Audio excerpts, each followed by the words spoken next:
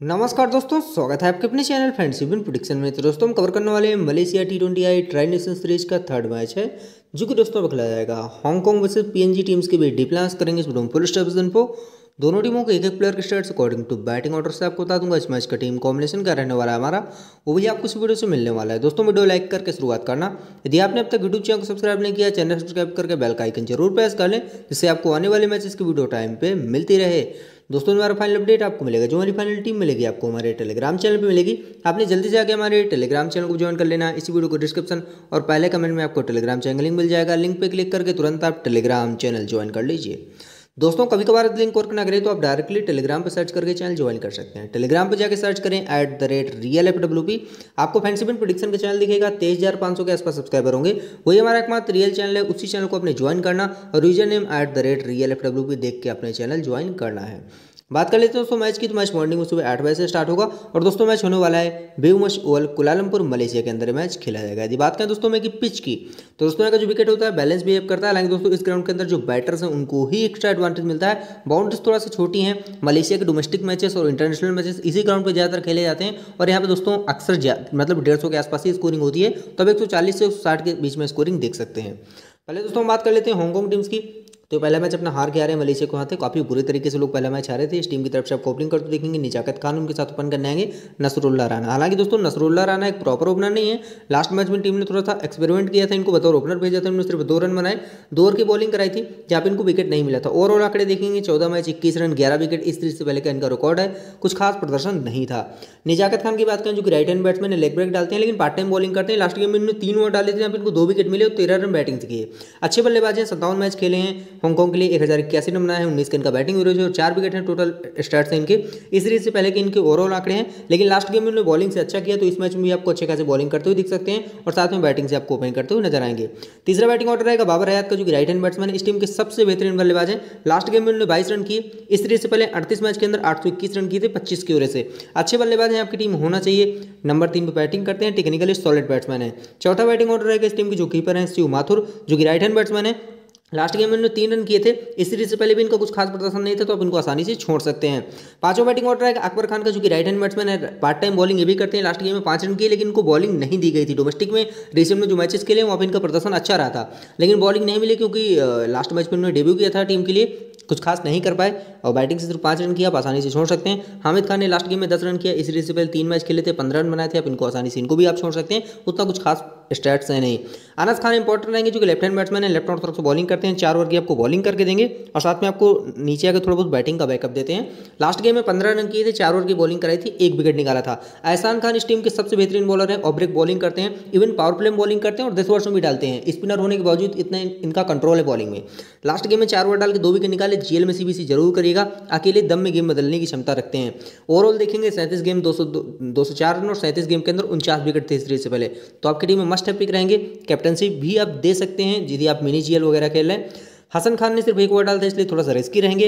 आयुष शुक्ला ने दो ओवर की बॉलिंग कराई थी, इसलिए इनको भी अपनी ग्राली की ट्राई करना है। और गजनफर जो लेग स्पिनर है, उसने चार ओवर डाल के लास्ट गेम में तीन विकेट निकाले। ओवरऑल सत्रह गेम में अठारह विकेट थे सीरीज़ से पहले। तो इंपॉर्टेंट रहेंगे, चार ओवर भी डाल के जाएँगे।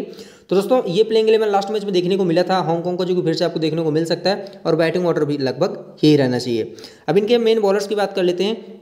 जिसमें दोस्तों यहाँ पे आपको दिख रहे होंगे नीचे गजनफर ये चार ओवर डाल के जाएँगे। एहसान खान लगभग कंफर्म चार ओवर करेंगे तो दो बॉलर यहाँ से हो गए। तीसरे हो गए इनके अनस खान तो ये तीन बॉलर का लगभग आपको बारह ओवर देखने को मिलेगा। बाकी के दोस्तों जो आठ ओवर रहते हैं, वो डिवाइड होंगे आयुष शुक्ला, जिनके अच्छे खासे यदि लास्ट गेम में थोड़ा पिटाई हो गए थे, इसलिए दो ओवर डाले, लेकिन ये करके जाते हैं।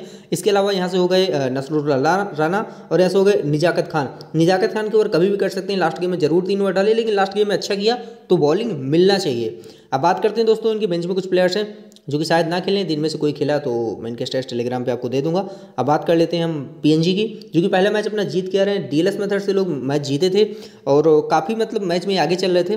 पहले बॉलिंग की थी, सस्ते में उन्होंने मलेशिया को रोक लिया था, उसके बाद जब चेंज करने आए थे तो बहुत दस ओवर में, सौ रन के ऊपर उन्होंने स्कोर कर दिया था और इनका सिर्फ़ एक विकेट गिरा था। टॉनी उरा ने ज़बरदस्त सिक्सटी टू मारे थे। तो यहाँ पे जो सारे प्लेयर के स्टेट्स हैं, मैं आपको बता दूँ फिर से एक बार। टी ट्वेंटी आई के स्टेट्स हैं, जो ओवरऑल स्टेट्स मेंशन है लास्ट गेम के स्टेट्स नीचे मेंशन कर दिए गए हैं।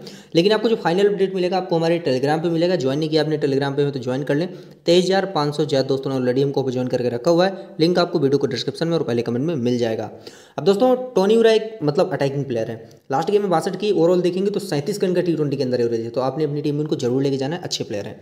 ओपन करने आएँगे असद वाला जो कि लेफ़्ट हैंड बैट्समैन है ओवरब्रेक बॉलिंग करेंगे, लेकिन ये भी पार्ट टाइम डालते हैं। जैसे सामने वाली टीम में निजाकत खान है ना, वैसे ही टाइप से हैं ये भी। लेकिन असद वाला की फिर भी बॉलिंग स्टैट्स अच्छे हैं। लास्ट गेम में एक ही ओवर डाला था बैटिंग से अड़तीस रन करके गए थे।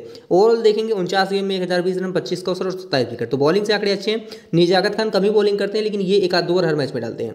सीबीसी आप कर सकते हैं, लेकिन बॉलिंग कितना करेंगे, ये थोड़ा रिस्की रहेगा मामला। लेकिन हाँ बैटिंग से आपको ओपन करते हुए ज़रूर नज़र आएँगे। किपलिन डोरी का इस टीम के जो कीपर हो नंबर तीन खेलते हैं। लास्ट गेम में ज़ीरो पे नॉट आउट ही रहे थे, एक ही विकेट गिरा था टीम का।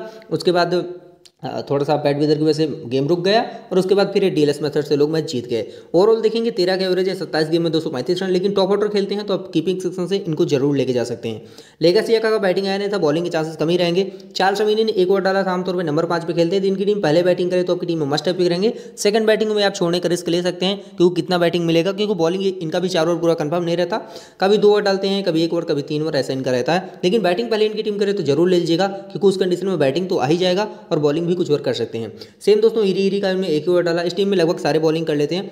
बस यही कारण है, कभी भी किसी को ओवर कर जाते हैं। नॉर्मल मनुआ इंपॉर्टेंट रहेंगे लास्ट गेम में चार ओवर डाल के दो विकेट निकाले। ओवरऑल सैंतालीस गेम में इनके नाम संतावन विकेट है। रेली हेगुरु के दो ओवर दो ओवर इन्होंने डालते इसलिए ये थोड़ा सा रिस्की रहेंगे। अली नाव की बात करें लास्ट गेम में चार ओवर डाल के तीन विकेट निकाले। ये अच्छे पिक रह सकते हैं, लेकिन ओवरऑल आंकड़े इनकी भी उतनी सही नहीं थे। लास्ट गेम में उन्होंने बॉलिंग अच्छी की तो चार ओवर डाले इनकी ओवर भी करते रहते हैं। इसलिए आपने इनको जीएल में ट्राई करना। है आप स्मॉल लीग में भी ले रहे हैं तो पहले बॉलिंग करें, तभी लीजिएगा। क्योंकि डेथ में भी डाल सकते हैं। जोहन कारी को लेफ़्ट ऑर्थोडॉक्स लास्ट गेम में तीन ही ओवर डालते लेकिन एक विकेट निकाला, अच्छे स्पिनर है। लेफ़्ट ऑर्थोडॉक्स स्पिनर है। इस सीरीज़ पहले छह गेम खेले थे और दस विकेट निकाले थे तो अच्छे आंकड़े हैं। सीमो कमी ज़रूर लीजिएगा डेथ में कराएँगे और नई बॉल से भी डालेंगे। लेफ़्ट आर्म पेसर है, लास्ट गेम में दो विकेट मिला हुआ था ओवरऑल बारह गेम में चौदह विकेट थे। तो ये प्लेइंग इलेवन देखने को मिला था पीएनजी का लास्ट मैच में, जो कि फिर से आपको देखने को मिल सकता है और बैटिंग ऑर्डर भी लगभग यही रहना चाहिए। अब बात करते हैं इस मैच की टीम की। लेकिन आपको दोस्तों, जो फाइनल टीम मिलेगा टॉस के बाद आपको हमारे टेलीग्राम पे मिलेगा तो फाइनल अपडेट के लिए अपने हमें टेलीग्राम पे ज्वाइन कर लेना है। तेईस हज़ार पाँच सौ ज़्यादा दोस्तों ने ऑलरेडी हमको वहाँ पे ज्वाइन किया हुआ है। वीडियो को डिस्क्रिप्शन में और पहले कमेंट में लिंक मिल जाएगा, आप भी ज्वाइन कर लें। तो दोस्तों, बात करते हैं हम इस मैच की टीम की। तो दोस्तों विकेट कीपिंग सेक्शन में जा रहा हूँ। किबलिन डोरिगा के साथ स्मॉल लीग में ये अच्छे ऑप्शन है क्योंकि टॉप ऑर्डर खेलते हैं। बाकी दोस्तों, यहाँ पे एक प्लेयर आपको दिखेगा हांगकॉन्ग का माथुर आप ट्राई करना चाहें, कर सकते हैं। ये भी मिडल ऑर्डर खेलते हैं, लेकिन मेरे हिसाब से पीएनजी की टीम थोड़ा ज़्यादा फेवरेट है तो आप उन्हीं का कीपर लेके जाएँ।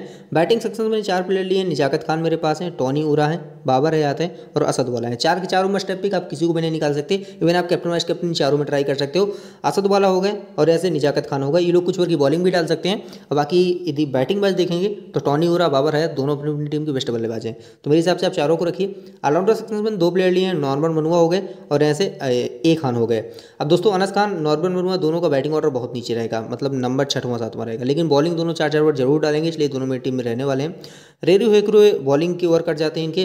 और अकबर खान को मैंने छोड़ ही दिया है। हाँ चाल समयनी दिन की टीम पहले बैटिंग करेगी तो उनको अपनी टीम में ज़रूर रखूँगा। चाहे मैं जिसकी जगह रखूँ, एक बॉलर कम करके रखूँ या एक बैटर लेकिन मेरी टीम में आएँगे यदि पहले बैटिंग करेगी पीएनजी तो। बॉलिंग सेक्शन में चार प्लेयर लिए हैं, सीमो कमिया मस्टर पिक रहेंगे, एहसान खान भी इंपॉर्टेंट रहेंगे, जोहन कारिको को मैं लेके जा रहा हूँ आफ्टर टॉस में इनकी जगह चार शमीनी को भी ले सकता हूँ यदि इनकी टीम पहले बैटिंग करेगी। तो देखते हैं, पहले बैटिंग करेंगे तो चार समय नहीं पहले बॉलिंग करेंगे तो जोहन कारिको तो अभी के लिए मैंने कारिको को रख लिया। बॉलिंग सेक्शन दोस्तों मेरी टीम में गजना पर रहने वाला है, जो लास्ट गेम में तीन विकेट निकाले थे। अब बात कर लेते हैं दोस्तों हम कैप्टन वाइस कैप्टन और टीम की फाइनल प्रिव्यू की।